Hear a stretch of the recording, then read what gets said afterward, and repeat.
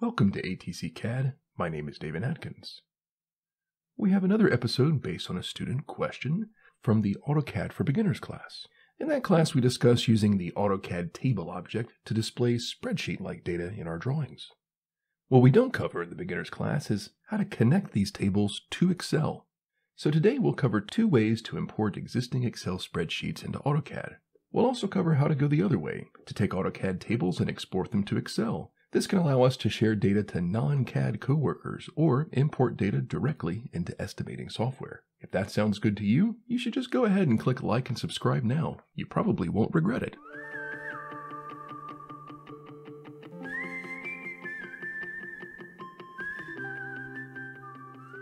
In order to create a two-way link between an AutoCAD table and a spreadsheet, you do have to have Excel installed on your AutoCAD workstation. You can export to a CSV for importing into Google Sheets, but this is a one-way process, and it won't allow you to change your AutoCAD table from the spreadsheet, and vice versa like Excel will let you do. There are AutoCAD add-ons that claim to allow this, but I haven't tried them, so I can't really say if they work well or not. The most powerful way of connecting AutoCAD and Excel is with data links. To use a data link, you first have to have an existing Excel spreadsheet that you'd like to use. Depending on the complexity of the spreadsheet, you may need to open it up and take a few notes. If you have multiple worksheets, you'll need to know which tab you want to link. You can absolutely link multiple tabs, but they need to be connected to separate tables. If you only want to link a portion of a worksheet, you'll need to know what range of columns and rows you want to link. By default, AutoCAD will try and link the entire worksheet, which you may not want to do if your spreadsheet includes some data that you would consider proprietary. With this information at hand, we can start the process of linking the spreadsheet. Go to the Annotate tab in the ribbon and start the Table command. In the Table Creation dialog box, select the From a Data Link option. From here, you can choose the Launch Data Link Manager option from either the drop-down or the icon to the right. In the next dialog box, choose Create a New Excel Data Link. The new window asks you to name the data link. This isn't the name of a spreadsheet, but rather the name that AutoCAD will name it internally. You can name it anything you want. I'm going to name it Jimmy for no reason whatsoever.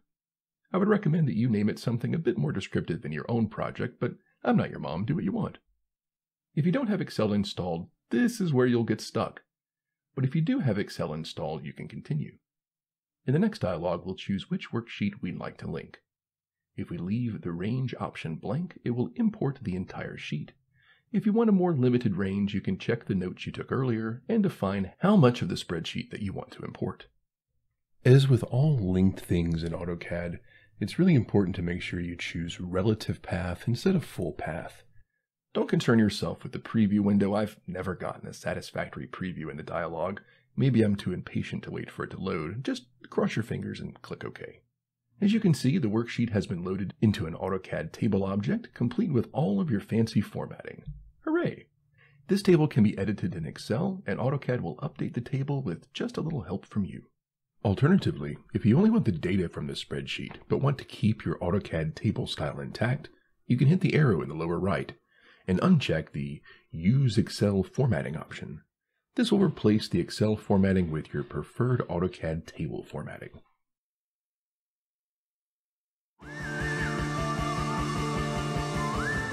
So you've got your table loaded and you need to make a change to the Excel file. No worries. Just open it up in Excel and make your changes. When you come back to AutoCAD, you'll generally get a notification that the data link needs updating. Generally, but not always. Some older versions of AutoCAD don't automatically check for updates. If you get the notification, just click on the blue link and the table is reloaded. If you didn't get the notification, just go to the Table panel in the Annotate tab and select Download from Source. Click on the table on your screen that you want to update, and AutoCAD will take care of the rest. But what if we want to go the other direction? We want to edit the Excel table from inside AutoCAD. Well, this is a tiny bit more complicated. You see, when you have a linked Excel table, all the loaded cells are locked and can't be edited directly. But don't worry, unlocking the cells isn't difficult. Simply click once in the cell you want to unlock, or click and drag your cursor across several cells at once, and find the Cell Locking button in the Table Cell Contextual ribbon tab. You can choose to unlock the content, the format, or both, depending on what you want to do. Once the cell is unlocked, you can make whatever changes you wish. Once you've finished your edits, we need to push those changes to Excel. This is done on the Table panel of the Annotate tab with the Upload to Source command. Done. A quick note. Like all links that AutoCAD can have, once you make the link, you can't change the name of the file or the location without also breaking the link. So don't do that unless you enjoy remapping links, which no one actually enjoys. If you don't need two-way linking, there is another method you can use. You can go into a formatted Excel spreadsheet, highlight the cells you want to put into AutoCAD, and copy them to the clipboard. Go back into AutoCAD, and you can paste it. Voila! This creates what's called an Ole object, which isn't super important to know, but there you go.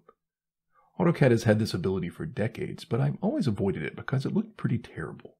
But good news, it doesn't look god-awful anymore. There are some limitations to this method. You cannot edit the table directly in AutoCAD. In order to edit it, you need to double click on the table. This will open up a temporary Excel spreadsheet, one that is not connected to the original that you copied over. Any edits that you make here will be applied to your AutoCAD table when you close Excel. Getting data out of AutoCAD can be a little more involved depending on what kind of data you're trying to export. Weirdly enough, there's no method to export an AutoCAD table directly to Excel format.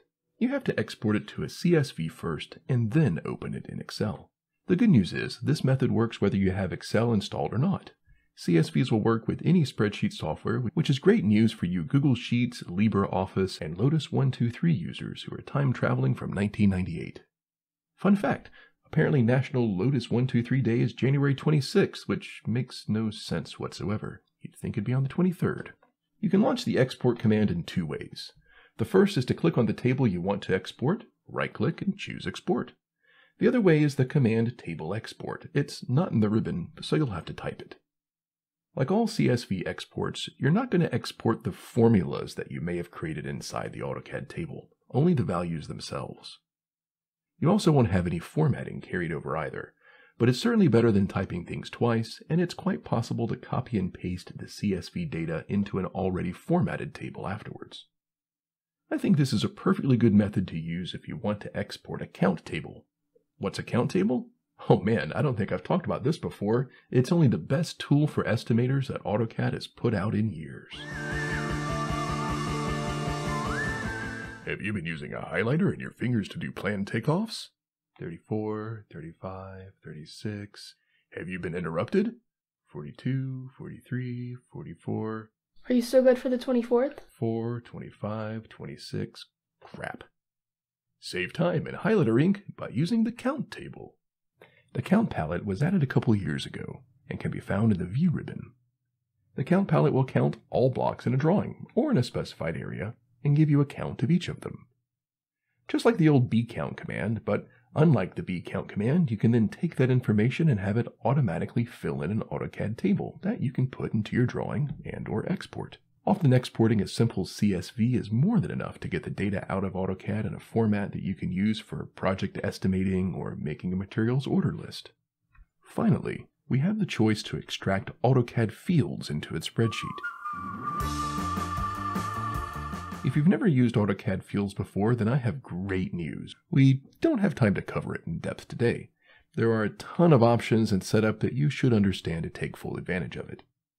That said, let's take a relatively simple example and see how it can be used. Here we have an architectural floor plan that we'd like to get the area and room perimeter data from. We created a layer called Area and drew polylines around all the rooms that we wanted the data from. So far so good. We start the data extraction command and choose Create a new data extraction. Saving the DXE file that AutoCAD uses to track the data in our project directory, and then click Next. On the next page, we can choose to load multiple drawings and get data from all of them at once. This is fantastic for getting data out of large projects. For now, we'll just leave everything at default and click Next. On the next page, we get a list of all the objects in the drawing, or set of drawings. Here we are interested in polylines, so we will check that and only that, and click Next.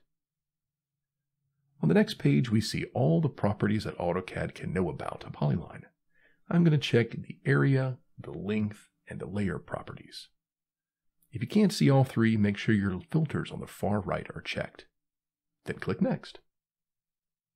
The next page is where we filter our results. You can see we have every polyline, which isn't super helpful.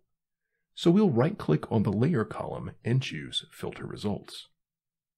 Unchecking any layer that isn't area will give us a list of the areas and perimeter lengths of every area in the drawing. Finally, on the final page, we can decide where we want to put the data.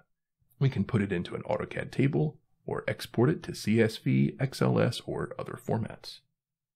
As you can see, there's a lot going on here, and this is a powerful tool.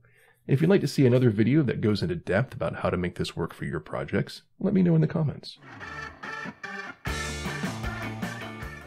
Perhaps the most important tip I ever have for AutoCAD is only do something once. Whenever you draw or type or do anything more than once, you increase the chance that you'll forget something when changes need to be made. It's inevitable. By linking tables with Excel, we remove potential problems by letting the computer do the coordination for us. It also lets us easily share project data with non-CAD able partners. Sending that spreadsheet with all the electrical components we need to a purchasing agent or a material supplier means we can get back to other important tasks, like learning new rap lyrics for karaoke night. Yeah, an AA with an AK melee, finish it like a play day, but a vacate retreat like a vacate mayday. This beat is cray cray ray J H A H A H A, laughing all the way with brain gas spray flames that cannot tame but placate the monster. Aren't you supposed to be working on a video? Yeah, I guess. Did you find this helpful? Click the like button. Likes are how I decide if my next video will cover AutoCAD or Revit or something else.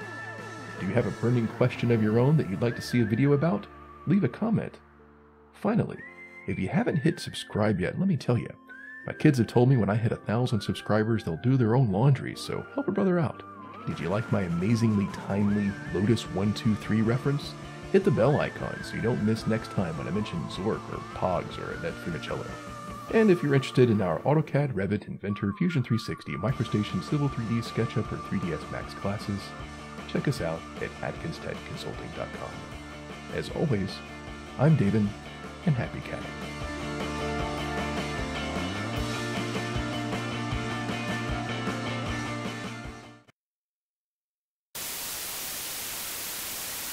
Available, I'm unavoidable, I'm unavailable, I'm unavailable, I got a full of money and a painful, I'm not afraid to pull the man stop. Look what I'm planning.